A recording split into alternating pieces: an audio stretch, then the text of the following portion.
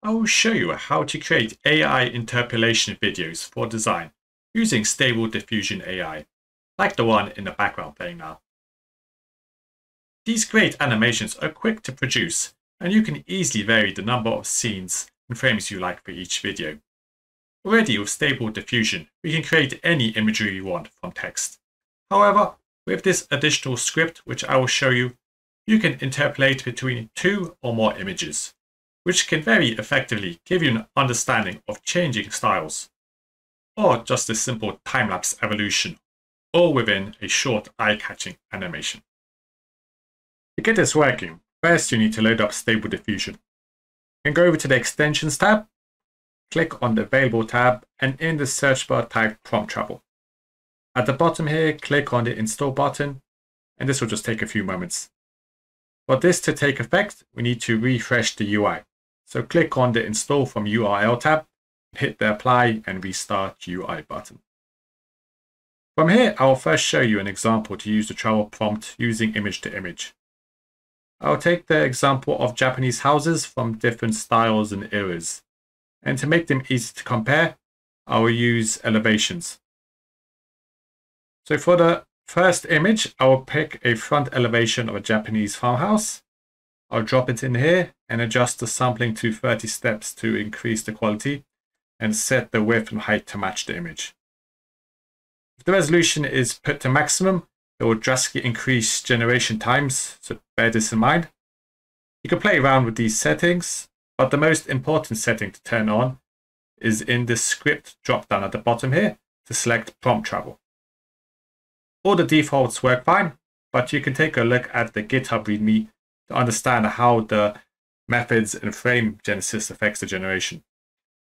The travel steps is the amount of generations between the style changes, so 30 here is fine.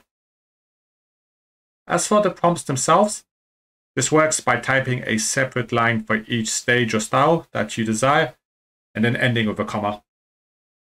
For this example, I will start by describing the image. So for example here, I would use a realistic detailed architectural front elevation photo for traditional two-story Japanese farmhouse in the countryside, comma, and then new line. Each prompt I would start in the same way so that they would match better and just change the end of the sentence. For example here, I would just change it to a two-story wooden townhouse in Kyoto and so on. Then add the normal negative prompts to reduce the chance of unwanted designs or ugly details and hit the generate button. You can see each of the 30 frames are created for each of these sentences. This will take some time, so I'll speed through it. But for the most part, you can see that the elevations keep to the same view and to the same scale. Occasionally it will switch to the perspective, but it returns to the elevations. You can always edit these out later on. Again, you might also just need to improve the prompts and add to the negative prompts. But you get an idea of how this works. When this is all generated, if you click on the folder underneath, the generated images will be appearing all in one place. If you go over to the travel prompt folder, you see from start to finish all the images generation. So you can remove the images that you don't like, and you can make your own GIF or video from these frames.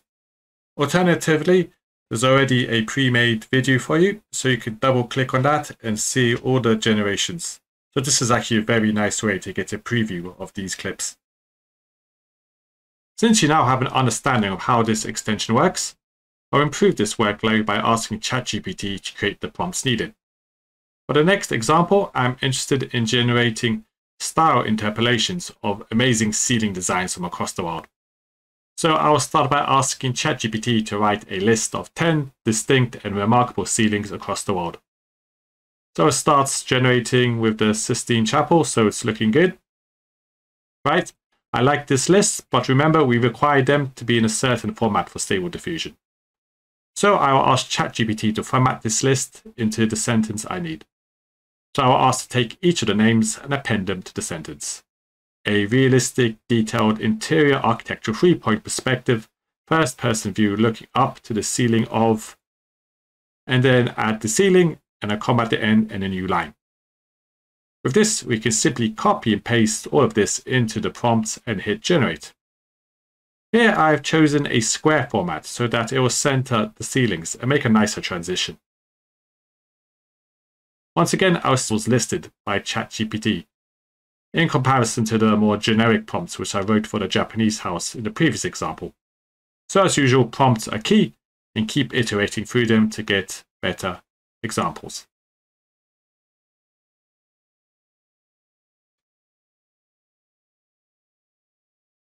Now the video wouldn't be complete without actually traveling in time through the city. So for this next example, I've changed the city scale and of course tested out on areas of Tokyo from the 1800s up to the 2100s. For this prompt, I've simply added the words aerial, Tokyo, and the time period. I've upped the CFG scale to 10 to increase the AI and creativity a bit and give it more freedom. You can see here there are some rather wild results. You can see the image at the start is quite odd because evidently it doesn't have much imagery from the 1800s, and so it is inventing a scene from what it can. Even the early periods of the city, you see that it looks like the data is generated from a postcard with this yellowish tint, which is actually quite interesting. Of course, you can see that it is pure fiction, as the city is generated from a large variety of aerial datasets. Consistency between images is difficult to maintain due to the scale of the aerial view, so focusing on a certain scene and using a more specific camera will help, which I will test out in the final example. It's quite interesting to see that it picks up iconic landscapes and buildings around Tokyo, such as the Sumida River, Tokyo Skytree, and of course Mount Fuji. Although I didn't suggest any colors in the prompts, and the creative addition of changing the image quality from a faded yellow photo to black and white, and then to color, and then to vivid futuristic colors really adds to the story, which I didn't consider before. So the AI creativity definitely does have its benefits. Now to address the issue of camera and scene consistency in animation. So for this final example, for the prompts, I'll keep the same concept of moving through periods of time in Tokyo, from feudal Japan to cyberpunk Japan, but I'll reconfigure the prompts. I'll be adding the words two-point perspective, first person looking down a central street to all the lines, and this will drive the AI to maintain the same view so there can be a focus on the change of styles rather than camera and the scene.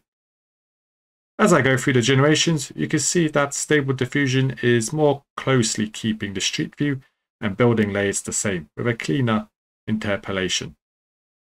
Here, the automatic color changes are working quite well, and it all ends up in this final futuristic cyberpunk scene.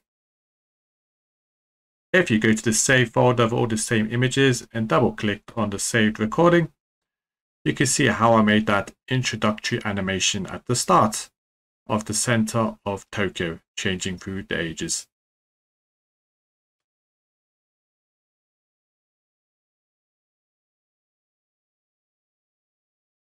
You can now see the power of this simple script to grasp various style changes or tell a story.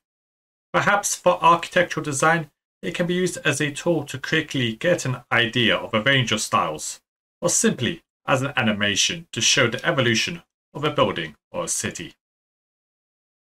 By taking advantage of the various perspectives and elevations you can prompt with, you can focus in on a specific feature, such as looking up at the ceilings, as in the video playing now in the background.